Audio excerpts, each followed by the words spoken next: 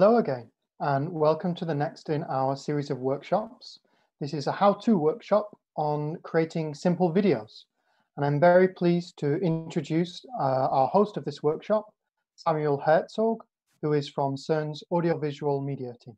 So with no further ado, straight over to Samuel. Great, thanks Andrew. Hello everyone, pleasure to have you all here. Uh, I will take you through all the basics of how to put together basic video using the DaVinci Resolve software.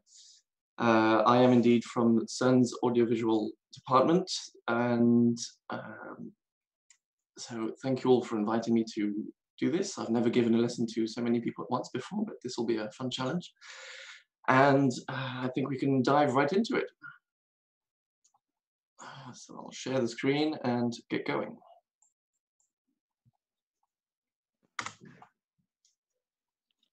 Okay, I hope you can all see. So here we are on the immediate opening of DaVinci Resolve. I'm going to operate on the basis that uh, most of you have probably never worked within the software or have never worked in video. So to start up very simply, obviously at the bottom, simply open a new project and give it a title. So we'll just give this uh, just a test project for now and create. I usually do recommend working on two screens if you have them, but if not, this works perfectly fine in one as well. Okay, so first I'll give just an overview of the space we're in. And the first thing to draw your attention to is at the bottom of the screen. I hope you can all see the screen clearly, by the way. Uh, but at the bottom of the screen, you'll find different sections. So the first media, the second cut, edit, fusion, color, fairlight, and deliver. So most of these we will not enter, we won't need them, they're for special effects, they're for audio effects, and, or they're for live broadcasting. We are only going to use three of these. So the first, I would invite you to go into the edit section. This is where most of the work will take place. And we can really operate almost everything we want to do within this space here. So once we are here, you will find what's called the timeline at the bottom. Fairly straightforward. You'll have your video and your audio tracks here. Over on the top left, you have your media pool. So as you can see here, this is where you will import your clips. So all the media will go in here, whether it's audio, animations, video of any kind, we'll throw it in here. I'll show you how in just a minute.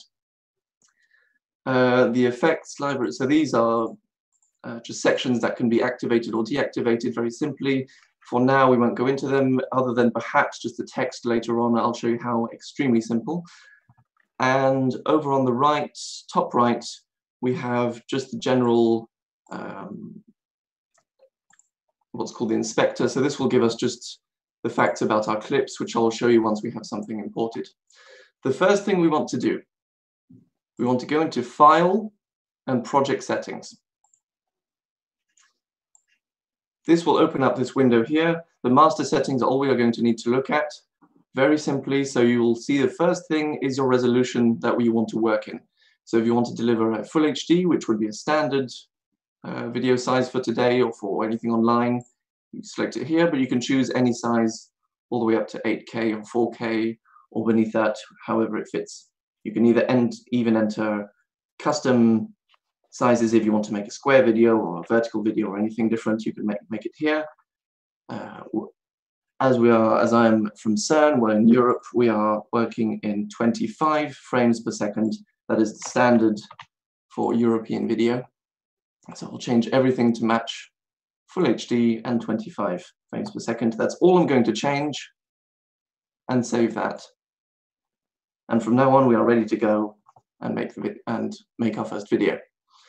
So over here in the master section, we can create what's called a bin. This is essentially a folder, uh, but which will only be created within the, the actual software. It's not going to create it in your Finder or your Explorer. So ideally create a bin and call it, for example, footage. And you can make as many of these as you like. This is simply to enable you to classify what you're doing with the files you're importing. So it could also be music or animations or any, any, any subfolders you want to create, you can do as well. So obviously we can either go to File and Import and select the media, or you can even more simply uh, go to find your media and drag it in to the bin and drop it, and there we go. Okay, so you have your clips here. You can either arrange them by name, size, duration, as you wish. And once you double click on, a, on one of your clips, you will find this window will show you the, the footage. So this is the tunnel at CERN. And this is just a preview window. This is not what you're editing. So here you can go in and have a look at your clip. And if you say, I don't want that one, you can go into the next one, double click, and have a look at the one you, you want to use. If you only want to use a section of it, there's a simple shortcut. You find the bit you want, you push I, and this will put your in point. Go to the further along section, push O for out, and then you've only selected this selection of the clip. If you simply drag it in like this, you will be taking video and audio. And as you will see, it appears on the right, and this is the actual window that we are editing. If you select only this one here, you will take only the video, and obviously the other one is only the audio. You can change to view the audio track if that's helpful to you as well. There's not much going on here, but you can see the audio peaks, but otherwise just your source material. So here we have our clips in our timeline. As you can see, there's a video section and an audio section. You can have as many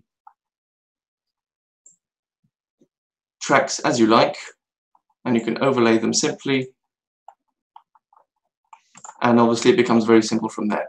One little thing I will show you to simplify your life a little bit is right up here in the top left in the DaVinci Resolve section, you can go to keyboard customization. This is very useful if you want to arrange every, every single shortcut that uh, you might want to use. The simple ones I was going to show you immediately are on one and two, I have put zoom in and zoom out. On number one, you can see zoom in. Number two, zoom out. I recommend doing that so you can simply search for zoom or you can type on number one and affect what they do. And that means that I can zoom in on my timeline by pushing number one. So if I want to be more precise with my cuts, simply push number one, and I can drag my clip to exactly where I want it to end. To cut it, you can either use the blade or let's see, blade and apply cut. Or there is a shortcut which I've forgotten the name of, which enables you to um, very directly, uh, which I have on S, let's see, split clip, there we go. If you find split clip, so it's S for me, it will simply cut the clip I've selected. So all in all, so far, very simple. So this is how we simply use our, uh, the basic editing tool is here. You have access to your media, access to your previews, and the simple cuts. Now, if you'd like to do some small modifications, you can go up into the inspector. So the inspector, let's see, I have away. In our inspector is just the basic modifications we can make to a clip. So if you wish to zoom in, for instance, simply click on it and drag it left or right. Zoom in or out. Same for the position, so I can zoom in, decide I want it this way, and I can even rotate it if I find it's not quite straight. All very simple. You can undo everything you do simply on the right. Apply or not the transformation, and that's it. And uh, same for cropping. You double click on the word, and if I decide I want to crop one side, this enables perhaps some more uh, creative editing. So you can decide that I only uh, want to have one side showing. So I can crop one half. Let's see. The other one I can crop the other and we and you can mix up different clips. these are two similar clips, so it doesn't really show, but anyway, you see the general idea, very simple. This is just how you can play around with your clip and be creative with it um, in a very quick fashion. There is a Fusion tab at the bottom. This is a special effects tab. I'm not going to go into that today, but if any of you are interested in that kind of thing and really doing further effects, you may have heard of After Effects. This is the equivalent of that in this software. Uh, I would recommend finding tutorials on that. It's quite simple to use, uh, but that's if you are interested in creating, you know, crazy transitions or effects, that's the place to do it. Uh, a couple more details on what we can do to our clip. Firstly, we can uncouple audio from video. If that's useful, you simply right click and find link clips. Once I click on that, they are now separate from each other. If I click on them both and reselect them, they are together again. That can be very useful when editing interviews or speeches or music and so on. You can also mute any clip on the left here or single out a single clip, so only that one will play. Same goes for video, it's these ones here.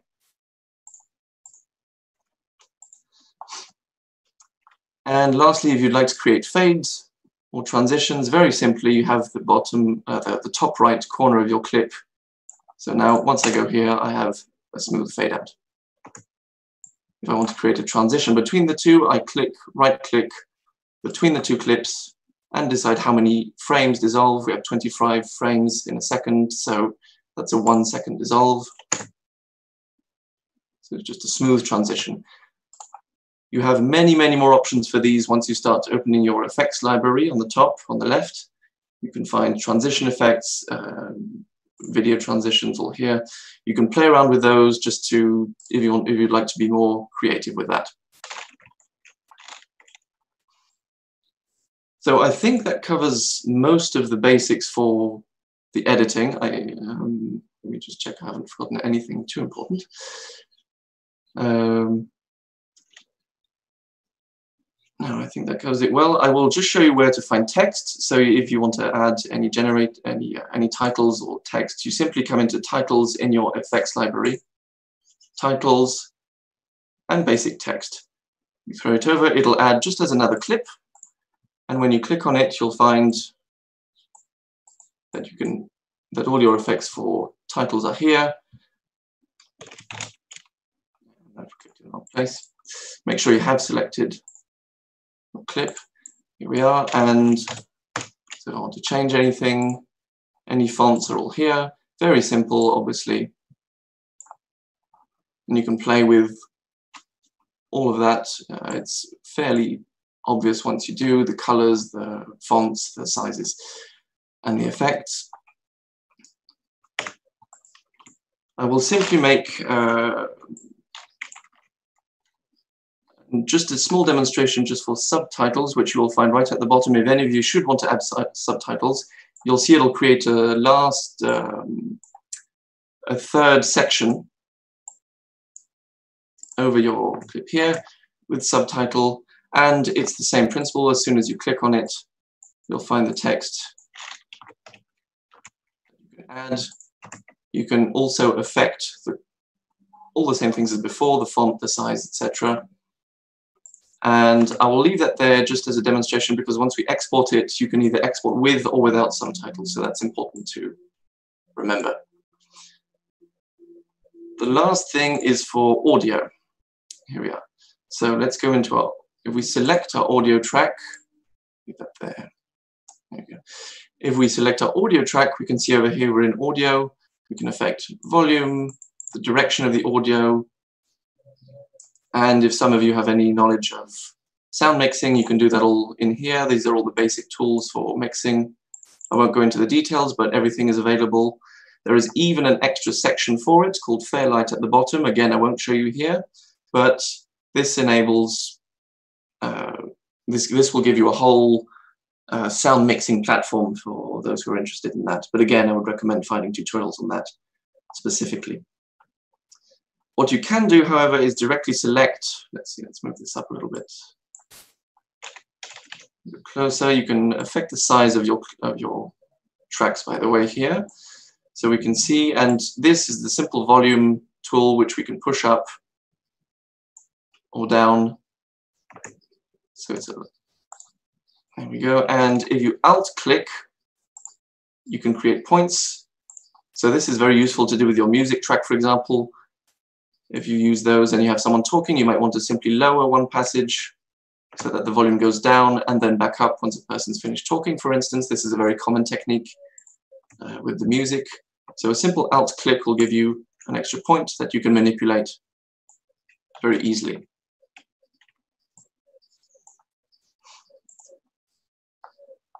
The last thing I'll say for audio is you just want to make sure, uh, let's see, remove that, keep just the mixer. So uh, let's see, I was going to have a larger window to show you this in, but um, the volume here is simply the volume of the track. It, it, won't affect the overall volume of your, of your clip. It's simply for you to hear the playback. And you basically just want to make sure with audio that it doesn't clip. By clip, I mean that it doesn't hit. Uh, so you'll see this goes in, can go into the red. I don't know why it's so small. It gets very loud. You don't want it clipping or saturating. That's the general rule. You want it to be loud enough that you can hear, but not clipping or saturating, so get hitting into the red zones um, for your audio. That's the only thing you really want to make sure throughout the entire video. Otherwise, anybody who watches your video, especially wearing uh, wearing headphones, will have their ears their ears blown out. That I think is the general overview for the video edit. Um, obviously you can make these clips as long as you like. There's no limitations of any kind on this, on this software. You can have as many tracks as you like.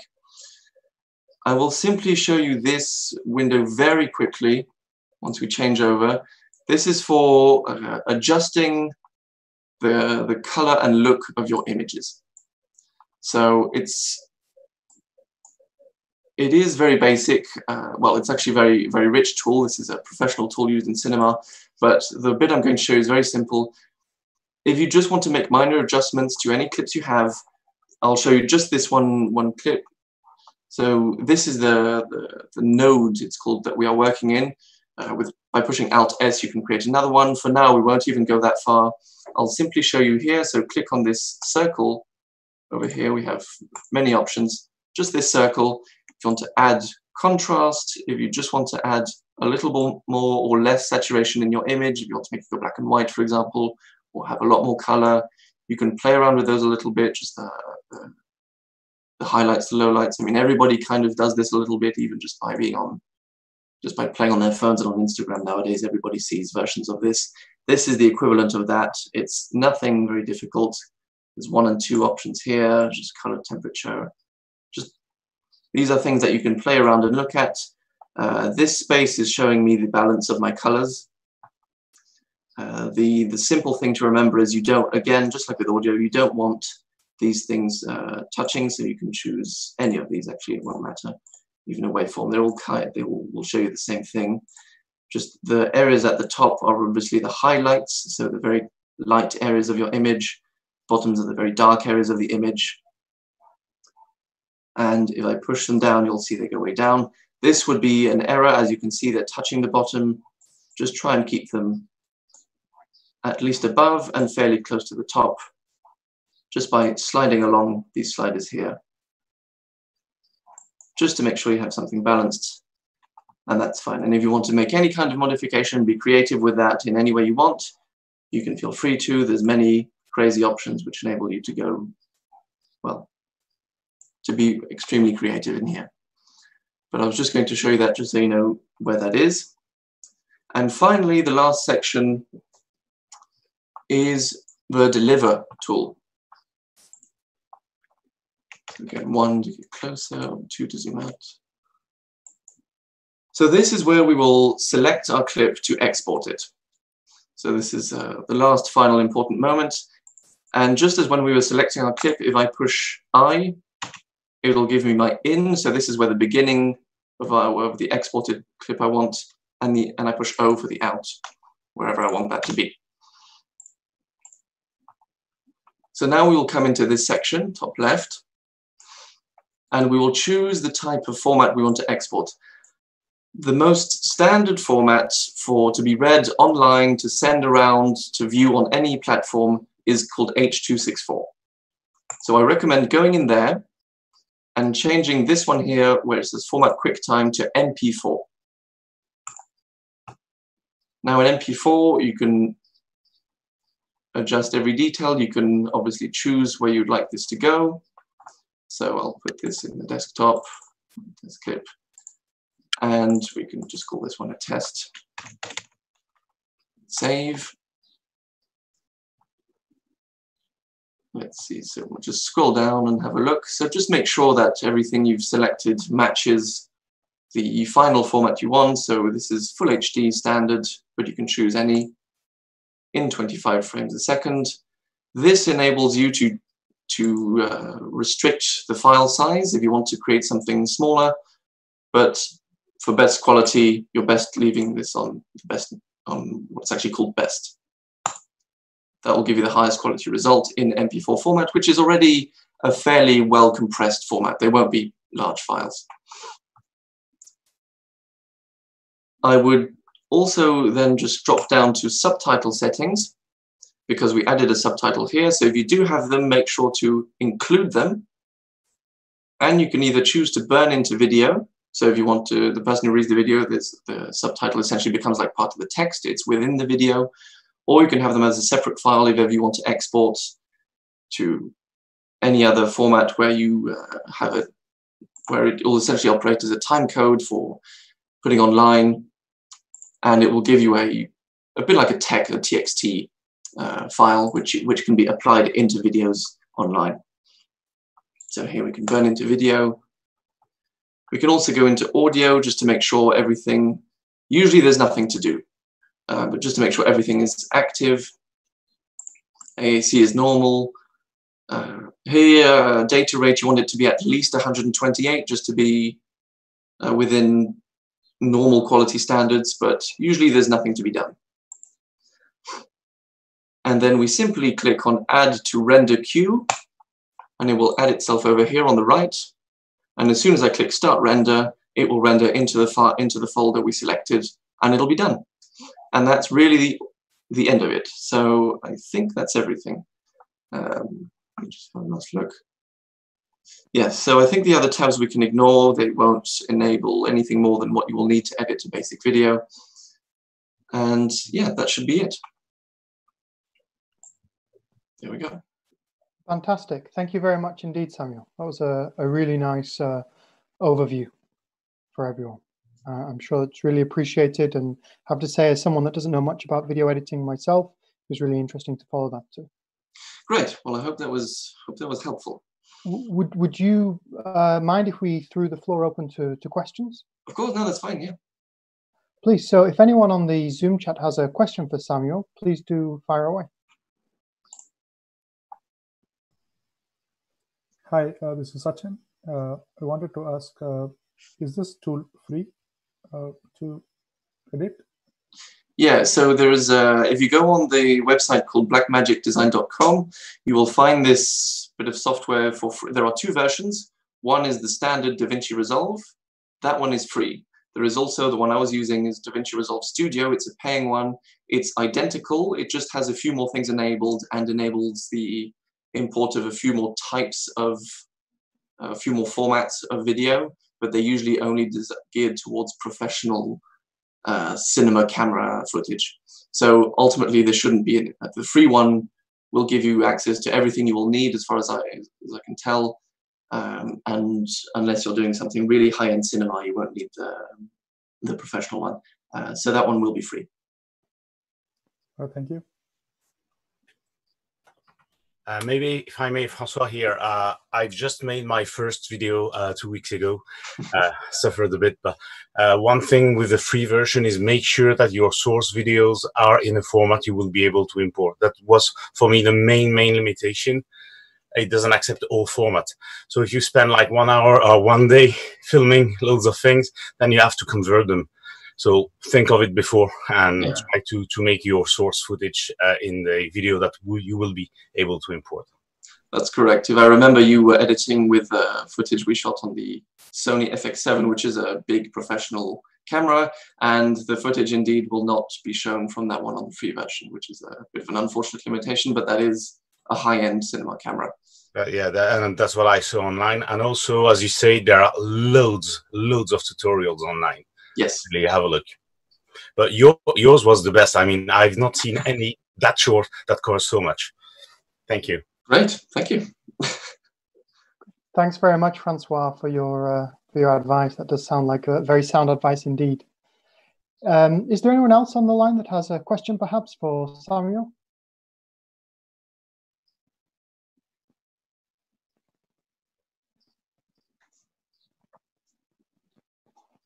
Well, it, it sounds like you you covered uh, all of the basics then. In that case, okay. Um, yeah. Perhaps I could just just flag up um, while Francois, while you are here, um, Francois is uh, very kindly one of our mentors uh, over the weekend, and I believe I see also uh, Claudia Marcelloni, another of our mentors, on the line. So um, I would just like to express our heartfelt thanks on behalf of all of the participants in the WebFest, and uh, to encourage um, any of those who have questions uh, regarding, you know, uh, science communication, outreach, anything in that kind of direction to to get in touch with you via the, the Mattermost channels. It's been actually really nice to see everybody's work and the discussion. So I think I get more of out of that than the other way around. oh, that's very kind of you. Thanks very much again for your time, Claudia. Good. Okay, then in that case, we will wrap this session up now. Um, I wish all of the participants the very best of luck. Um, going back to your teams, putting together your videos for this evening. Uh, please don't forget your one minute videos need to be submitted by 5 p.m. CEST this evening. And all videos will then be shown in the final session at 6 p.m. CEST straight after that. Thanks again, Samuel. Thanks everyone for joining us. pleasure. Thanks for all joining. All the best. Happy hacking. Bye. Bye.